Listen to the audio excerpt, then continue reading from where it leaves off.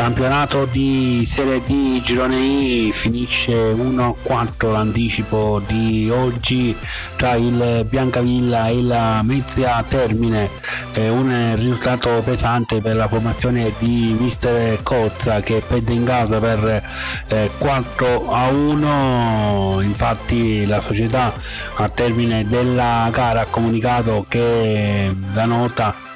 nessuno dei tesserati parlerà al termine della gara Biancavilla alla mezza termine. Poi c'è comunicato calcio, calcio Biancavilla rende noto che al termine della gara Biancavilla eh, tra la mezza termine nessuno dei propri tesserati e dirigente rilascerà dichiarazione agli organi di formazione. Eh, chiaramente questo comunicato rappresenta la delusione per la sconfitta per 1 a 4, una sconfitta molto pesante.